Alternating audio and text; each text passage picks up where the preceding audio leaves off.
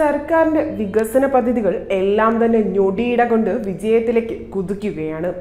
ജനങ്ങൾക്ക് ഉപകാരപ്രദമാകുന്ന തരത്തിലുള്ള വികസന പദ്ധതികളാണ് സർക്കാർ നടപ്പിലാക്കിക്കൊണ്ടിരിക്കുന്നത്. ഇപ്പോൾ പാലങ്ങളെ വിനോദസഞ്ചാര കേന്ദ്രങ്ങളാക്കി മാറ്റുക. അതിനുള്ള നിർമ്മാണ പ്രവർത്തനങ്ങൾ ഓഗസ്റ്റിൽ ആരംഭിക്കുമെന്നാണ് പൊതുമരാമത്ത് ടൂറിസം മന്ത്രി മുഹമ്മദ് റിയാസ് വ്യക്തമാക്കിയിരിക്കുന്നത്.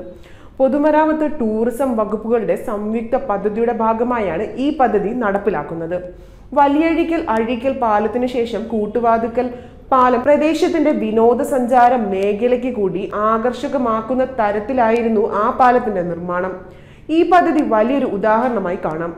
പാലങ്ങൾ ദീപാലങ്കൃതമാക്കി മാറ്റുകയും നദികൾക്ക് കുറുകെ അല്ലാത്ത ഓവർ ബ്രിഡ്ജുകളുടെ താഴത്തെ ഭാഗം പൊതുജനങ്ങൾക്ക് ഉപകാരപ്രദമാകും വിധം മികച്ച രീതിയിൽ പരിവർത്തനം ചെയ്യുകയുമാണ് ഈ പദ്ധതിയിലൂടെ ലക്ഷ്യമിടുന്നത്. നെടുമ്പാശ്ശേരി വിമാനത്താവളത്തിന് സമീപത്തെ ഓവർ ബ്രിഡ്ജും കൊല്ലം എസ് എൻ കോളേജിന് സമീപത്തെ റെയിൽവേ ഓവർ ബ്രിഡ്ജുമാണ് പദ്ധതിയുടെ ആദ്യഘട്ട പ്രവർത്തനങ്ങൾക്കായി തിരഞ്ഞെടുത്തിരിക്കുന്നത്.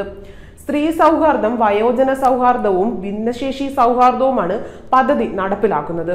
കൊല്ലം റെയിൽവേ ഓവർബ്രിഡ്ജിന് താഴത്തെ ഭാഗത്ത് badminton court skating place chess plot നടക്കാനുള്ള സൗകര്യം തുടങ്ങിയ വൈവിധ്യമാർന്ന പ്രവർത്തനങ്ങളാണ് ആവിഷ്കരിക്കുന്നത്. പദ്ധതിയുടെ അന്തിമ രൂപമായെന്നും ഓഗസ്റ്റിൽ നിർമ്മാണ പ്രവർത്തനങ്ങൾ ആരംഭിക്കുമെന്നും മന്ത്രി പറഞ്ഞു.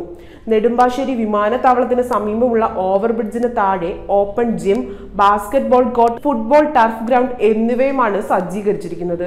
കേരളത്തിൽ ഇത്തരത്തിൽ ഉപയോഗപ്രദമാകുന്ന ഓവർബ്രിഡ്ജുകളുടെ പട്ടിക പട്ടിക ശേഖരിച്ചു വരികയാണ്.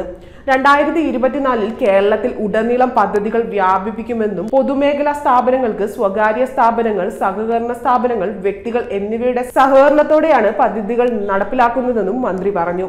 കോഴിക്കോട് ഫറൂഖ് പഴയ പാലവും ആലുവ മണപ്പുറത്തെ ഫുട് ഓവർ ബ്രിഡ്ജുമാണ് ദീപാലംകൃതമാക്കുന്നതിനായി ആദ്യഘട്ടത്തിൽ തിരഞ്ഞെടുത്തിരിക്കുന്നത്. ഓഗസ്റ്റ് അവസാനത്തിൽ പ്രവർത്തനങ്ങൾ ആരംഭിക്കും. പദ്ധതി രേഖ തയ്യാറാക്കൽ പുരോഗമിക്കുകയാണ്. ഈ രണ്ട് പദ്ധതികളും പൊതുമരാമത്ത് വകുപ്പും ടൂറിസം വകുപ്പും സംയുക്തമായാണ് നടപ്പിലാക്കുന്നതെന്നും കേരളത്തെ ഒരു ടൂറിസ്റ്റ് സംസ്ഥാനമാക്കി മാറ്റുന്നതിന് ഈ പദ്ധതികൾ കരുത്തു പകരുമെന്നും മന്ത്രി അഭിപ്രായപ്പെട്ടു.